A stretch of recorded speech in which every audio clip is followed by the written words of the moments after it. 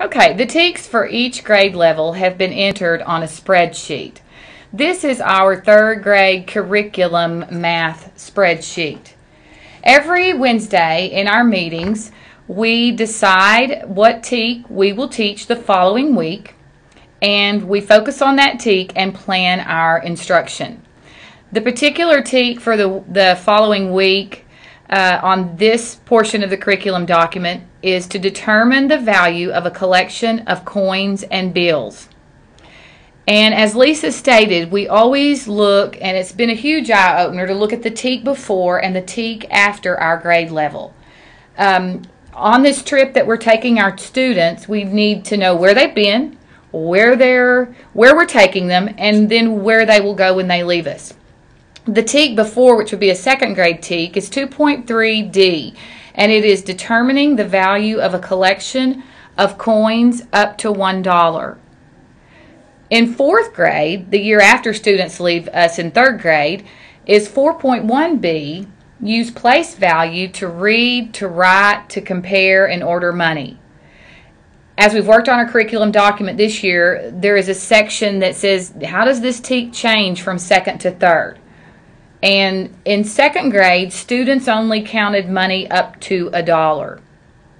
And also, we look at where they're going, and by fourth grade, the students must be able to read, to write, to compare, and order money.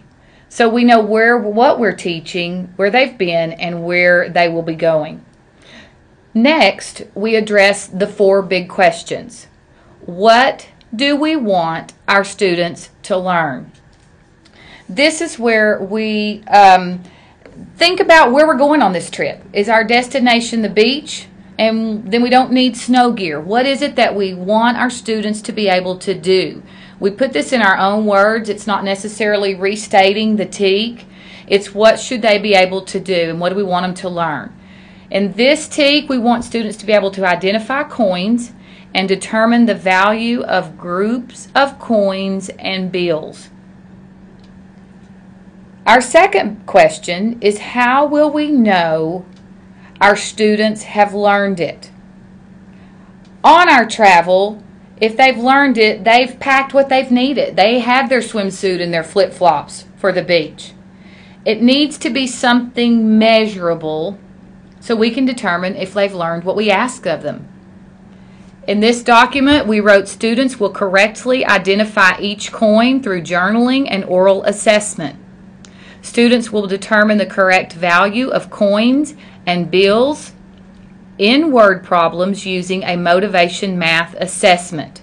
Students show their work using hairs on the coins. coins. And in this, the hairs are just little lines that the students draw that look like hairs, and it's a counting system for the value of the coins. Um, once we um, have answered that question, we know there are going to be students that need reteaching. So we ask ourselves the question, what will we do if the student does not learn it? If they've gotten on this trip we're going on and they have packed high heels and mini skirts for the beach, they don't have the right thing. So we need a plan. We need a plan when our students didn't get it.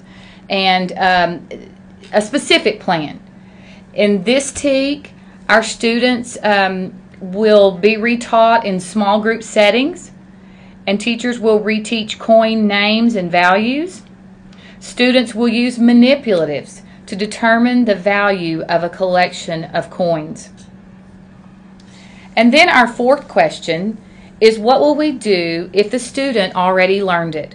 We always have those students that have packed everything they need and they are going to get to do something extra, like let's go on a scuba diving mission. Um, it's the students in our classroom who excel in this subject or who are GT in this area. What specifically can they do? Students will create a visual representation or a PowerPoint presentation or a song to teach a friend who just moved to the United States how to use American currency. Those are the four big questions, and we've written those answers when we have our meetings on Wednesday. These are the things that we write and put into this curriculum document and think through for our teaching for the following week. Over in the far right column or resources, teachers have listed resources that will be invaluable to them when they look back to teach this lesson the following year. Or if we have teachers retire and new teachers come into our district, can you imagine what an, a valuable resource this is going to be to them? These resources can be hands-on resources, uh, such as money, and in this case, they have listed money. They'll use bills and coins, hot dog flashcards. There are Moodle lessons that have already been entered on the computer for like how much, and another lesson is let's learn about money. Also, other resources that have been entered into the computer are these hyperlinks, such as Learn to Count Money. In this activity, students can put the value of the money into the box. It says put $2.28 into the box. It's a little...